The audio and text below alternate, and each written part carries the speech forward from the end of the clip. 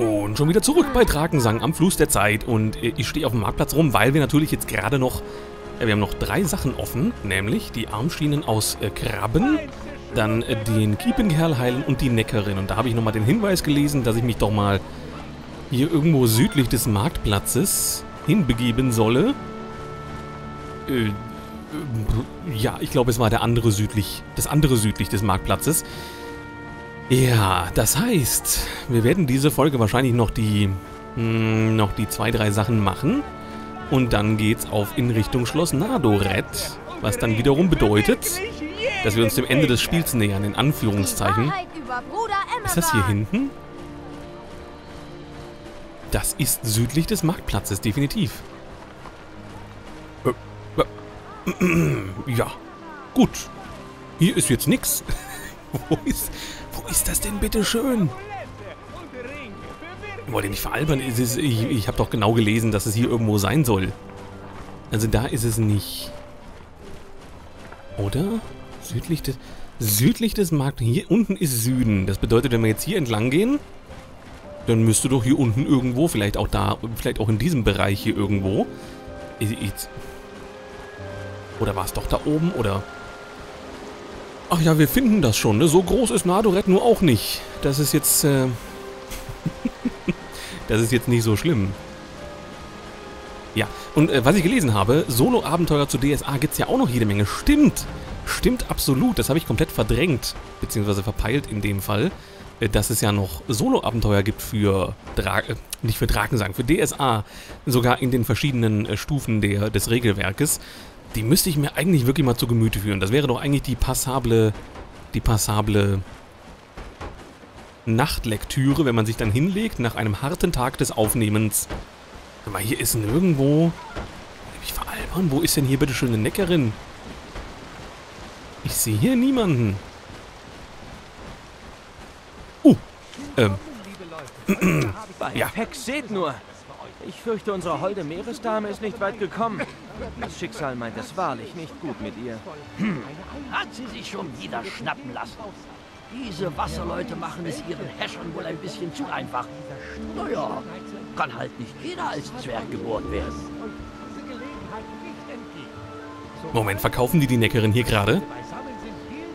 Ähm, verkaufen die die Neckerin hier gerade? Okay, Bruder Emmeran ist hier und ich denke mal, Bruder Emmeran wird natürlich eine ganz besondere Beziehung zu Wesen des Wassers haben. Was hat er gerade gesagt? Snackerin eine äh, zu unvergleichlichen Erfahrungen verhelfen können. Sei erneut gegrüßt. Vielleicht ist es ja ein Zeichen des Flussvaters, dass du in eben diesem Augenblick hier erscheinst. Nö, das ist zurückzuführen auf die YouTube-Kommentare, die ich bekommen habe. Aber ja, vielleicht ist das ja der Flussvater. Vielleicht sind die YouTube-Zuschauer ja der Flussvater. Man weiß es nicht. Seid ebenfalls... Was war denn das? Achso, sie ist wieder auf der Jagd nach ihrem Mann. Seid ebenfalls gegrüßt. Was verschlägt euch denn hier mitten in die Stadt? Ich bin gesandt, um einen weiteren Frevel der Menschen zu bezeugen. Warum nur wollen sie nicht lernen? Na, das mögen wir nicht wirklich. Seht nur, was sie dort tun. Sie haben eines der Kinder des Flusses in ihre Gewalt gebracht und wollen es nun für glitzerndes Gold verschachern. Mhm. Die arme Neckerin, was wollt ihr tun? Werdet ihr sie befreien? Nein, ich kann nur die Rechtschaffenden mahnen und die Frevler anklagen.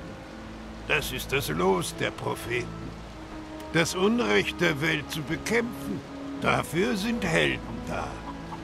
Deswegen glaube ich, dass dein Auftauchen hier kein Zufall ist. Bitte versuche sie zu befreien. Ich weiß, du hast es schon einmal geschafft. Sobald sie frei ist, werde ich sie sicher zurück zu ihrem Volk geleiten. Das verspreche ich dir. Na gut, ich werde mal sehen, was ich tun kann. heißt das, ihr wollt sie kaufen, damit ihr den Pinsel besser schwingen könnt? Bitte was? Ich könnte mir auch was anderes vorstellen, für was ich sie gebrauchen könnte. Hat allerdings nichts mit Hesinde zu tun. Ah, das ist so ekelhaft. Diese was ekeligen Leute. Gesellen ihr seid. Müsste denn alles schöne Sohn den Schmutz ziehen? Ach, was soll das denn heißen?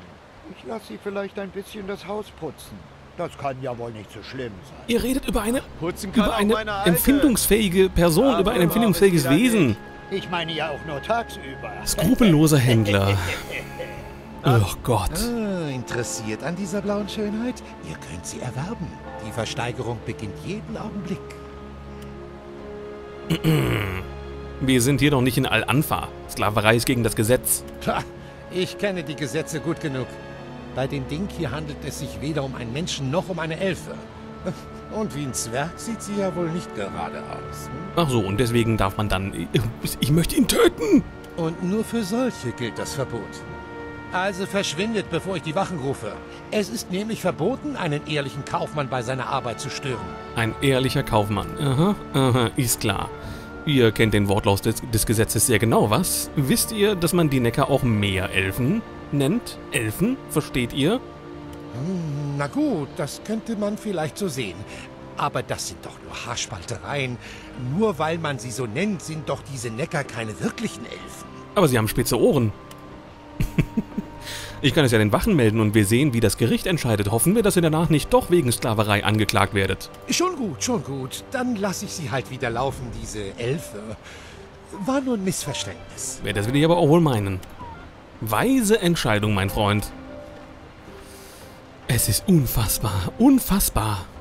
Ich bin dir so dankbar. Schon zum zweiten Mal hast du mich gerettet. Und ich habe diesmal nichts, um dich zu belohnen. Die Frage ist, wie ist sie überhaupt hier hingekommen? Also wie hat sie sich denn fangen lassen? Deswegen sollst du deine Belohnung von mir erhalten.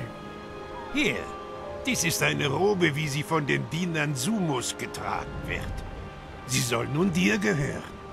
Der Flussvater ist sehr zufrieden mit dir. Das freut mich über alle Maßen. Indem du dieses Kind des Wassers gerettet hast, wurden auch diese verblendeten Menschen vor erneuten Freveln bewahrt.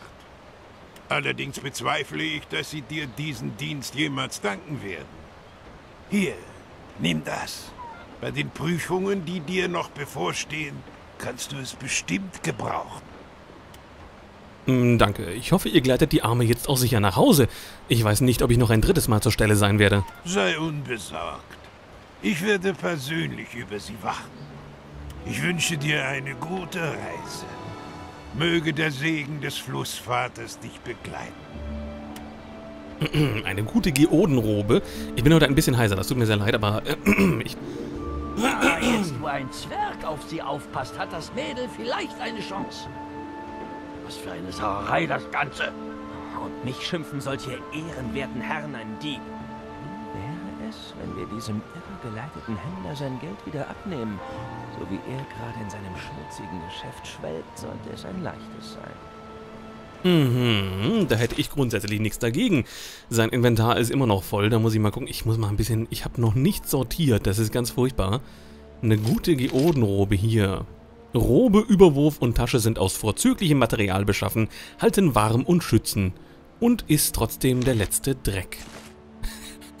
ja, kann man machen. Muss man aber nicht unbedingt. Äh, wo sind meine...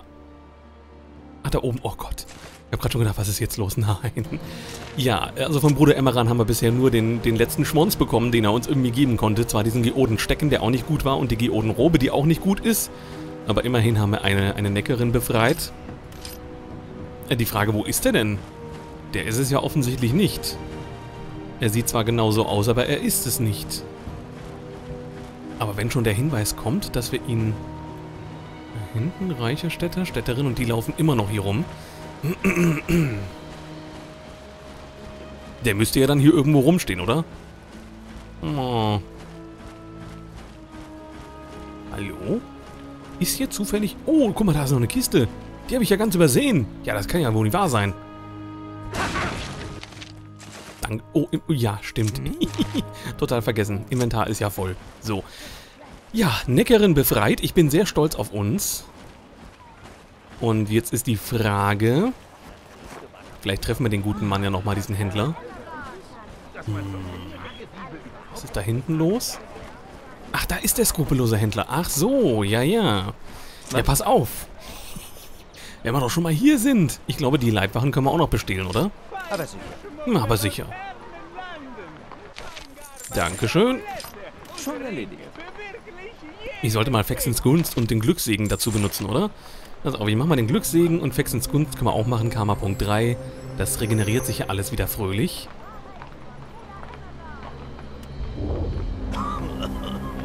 Hab ich ein Glück.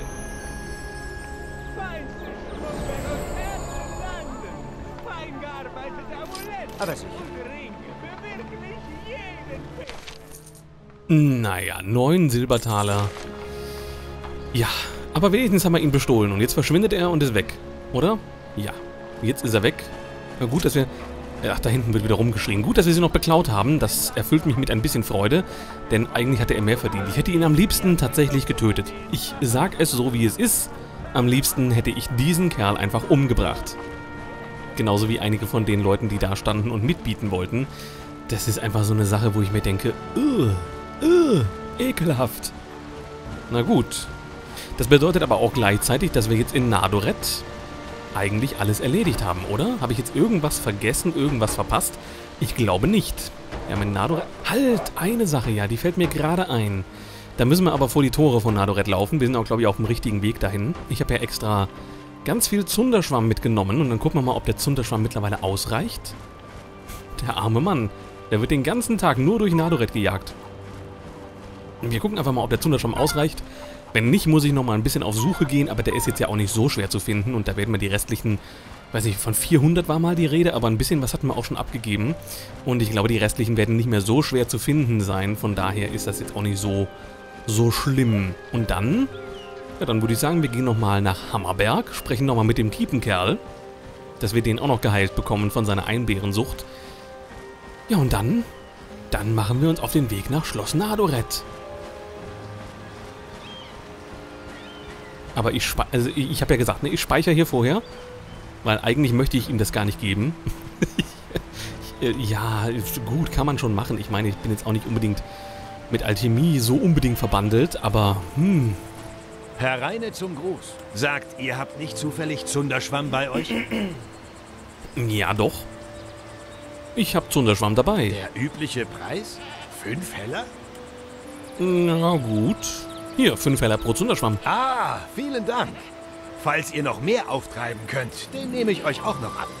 Hm, schon nicht schlecht. Boah. Aber ich brauche noch mehr. Ernsthaft? Ernsthaft? Ich habe dir gerade fast 400 Zunderschwamm in die Hand gedrückt. Okay, ich möchte erstmal sammeln, bevor ich das dann jetzt abgebe, weil ich dann gar nicht mehr weiß, wie viel wir abgegeben haben. Aber dann brauche ich tatsächlich 400 und wir haben deutlich, also nicht deutlich weniger. Ich vermute mal, es fehlen vielleicht noch so 20, 30 Zunderschwamm, so um den Dreh. Das müsste es eigentlich sein und dann dürfte die Sache mit ihm auch durch sein. Dann sind wir in Nadoret halt noch nicht ganz fertig. Dann fehlt er noch, aber dann haben wir Nadoret quasi hinter uns gelassen. Dann würde ich sagen, wir kümmern uns mal gerade um den Kiepenkerl.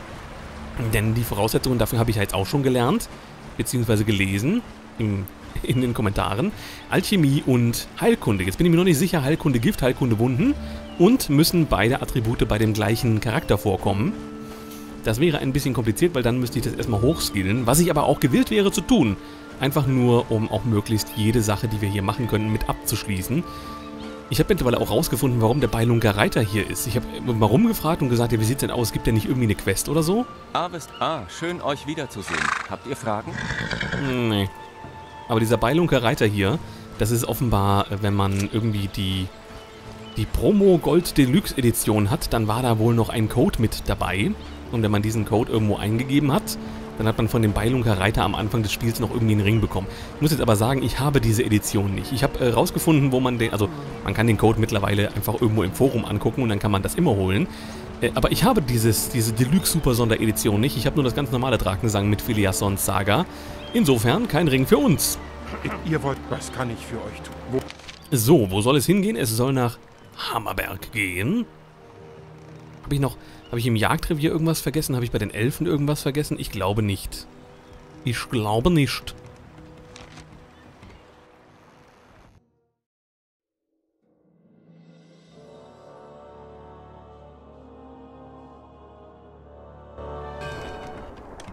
So. Was ist? Übrigens, die Ulvine, die wir Ja? hier getroffen haben, äh, ich- hatte Drakensang 1 Benötigst- gespielt, ja. Aber das ist unendlich viele Jahre her. Damals, als ich noch jung war, da habe ich Drakensang 1 gespielt. Aber Weißt wir werden sie ja wiedersehen, weil... Nee? Ja, also nicht unbedingt in Kürze, weil ich glaube schon, dass wir noch einiges vor uns haben, aber hiernach folgt ja dann direkt Drakensang 1.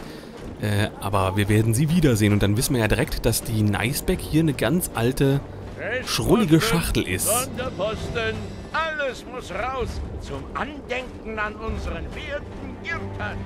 Ja, Girtasch ist tot. So, lieber Kiepenkerl, ich glaube, ich habe sogar die Voraussetzungen erfüllt. Er hat Alchemie 13 und er hat, ja gut, Heilkunde Gift, Heilkunde Wunden. Ich weiß halt nicht, muss es mit dem gleichen Charakter sein oder nicht. Das werden wir aber gleich rausfinden. Und wenn es mit dem gleichen Charakter sein muss, dann wird einfach unser guter Zauberlehrling hier unten nochmal Heilkunde Gift auf 10 hochbringen oder Heilkunde Wunden. Ja, Gift wird es wahrscheinlich eher sein. Kann ich irgendwie behilflich sein? Hast du was dagegen, wenn ich dich was Persönliches frage? Ich bin eine offene Kiepe für euch. Fragt bitte.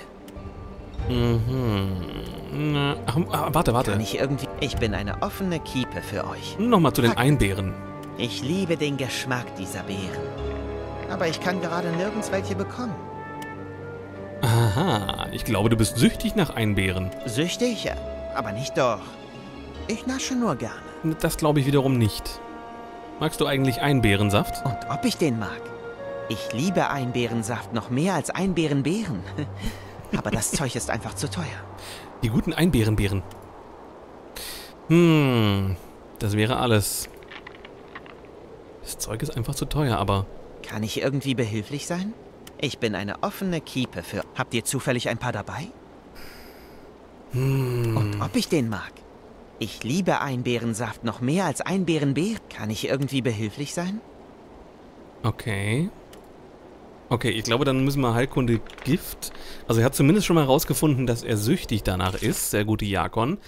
Aber er hat kein Gegenmittel dazu finden können und Heilkunde Gift hat er gar nicht.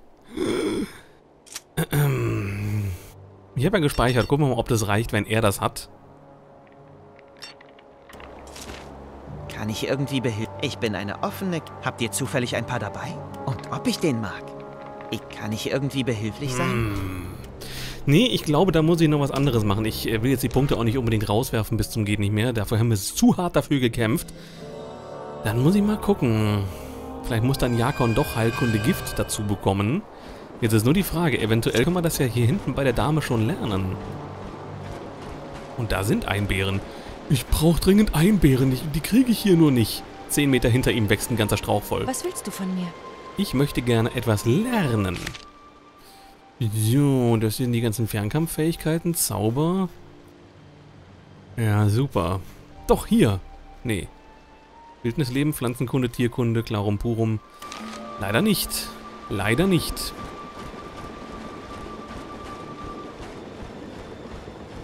Wo kann ich denn jetzt Heilkunde Gift lernen? Doch nicht etwa irgendwo ganz woanders. Och bitte. Ich will doch nur... Ich muss diesen Kiepenkerl heilen. Es gehört leider dazu.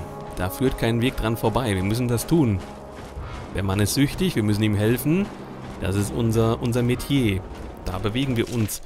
Äh, ich könnte auch nochmal ein paar Sachen... Ja, das mache ich aber zwischen den Folgen. Das mit dem Inventar voll, das ist mir jetzt irgendwie zu nervig. Ja, wisst ihr was? Ich mache mal einen ganz kurzen Abstecher, gehe mal ganz schnell Heilkunde Gift lernen. Und dann sehen wir uns in zwei Sekunden wieder hier, oder? Ja, machen wir das so. Äh, bis gleich. Noch nicht. So, und schon wieder zurück. Und ein bisschen Recherche und ganz viel hin und her laufen später habe ich herausgefunden, dass man den Kiepenkerl gar nicht heilen kann. Habe ich den Kommentar so wieder so falsch gelesen. Ich habe ihn nur aus der Erinnerung gehabt und da meine ich, in Erinnerung gehabt zu haben, dass man ihn auch heilen kann. Aber tatsächlich ist es so, dass man ihn nur auf seine Sucht ansprechen kann und man dafür dann eben ein paar Abenteuerpunkte bekommt. Aber man kann die Sucht anscheinend nicht heilen, womit ich mir zumindest dann erspart habe, dass wir nochmal Punkte ausgeben müssen für Heilkunde oder so.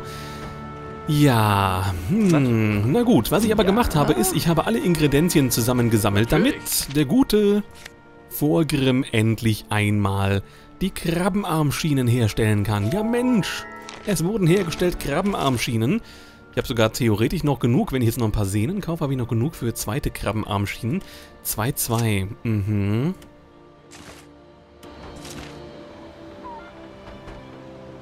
Sieht sehr martialisch aus, das, müssen wir, das muss man sagen. Und theoretisch könnten wir ja dann noch Nee, die sind für beides. Die sind für Hände und... Oh, das ist doof. Ja, Körperkraft plus 1. Dann wären wir bei 22. 21. Ich muss gestehen, äh, sie sind nett. Wir können sie wahrscheinlich verkaufen. Aber so richtig... So richtig überzeugt bin ich von den Krabbenarmschienen jetzt nicht. 5-5. Also für diesen einen Punkt Körperkraft, ich, ich weiß es nicht. Also auch vom Aussehen her. Natürlich, der Punkt Körperkraft wäre wahrscheinlich besser als alles andere, was wir sonst machen könnten, aber auch vom Aussehen her ist es mir eigentlich eher recht, wenn wir so bleiben, wie wir jetzt sind. Ich will so bleiben, wie ich bin. Darfst. Ja, Thema Werbung. Habe ich aber lange nicht mehr gehört. Gibt es das überhaupt noch? Gibt es diese Marke überhaupt noch? Ich weiß es gar nicht. Müsste ich mir mal kurz recherchieren. Na gut, dann bleibt uns nur noch eines übrig, nämlich mit diesem Herren hier zu sprechen, damit wir uns aufmachen können nach Schloss Nadoret. Allerdings, ja, muss ich nächste Folge auf jeden Fall, die starten wir im Prinzip damit, dass wir den, äh, dem Typen seinen Zunderschwamm geben. Ich habe jetzt leider nicht mehr so viel Zeit zum Aufnehmen, weil es schon relativ spät geworden ist und ich noch rendern muss und so weiter und so fort. Ah, Es ist immer wieder alles relativ hektisch leider, deswegen bitte nicht böse sein, dass die Folge so kurz ist, aber wir haben jetzt im Prinzip dann nochmal alles erledigt, was wir erledigen mussten oder erle- erledigen wollten. Wir haben mit dem Kiepenkerl gesprochen, wir haben die Krabbenarmschienen hergestellt und wir haben die Neckerin befreit. Damit haben wir, glaube ich, den Rest der Nebendinge, die man noch erledigen kann, erledigt. In unserem Questlogbuch steht nichts mehr, außer das hier, was nicht abgeschlossen werden kann.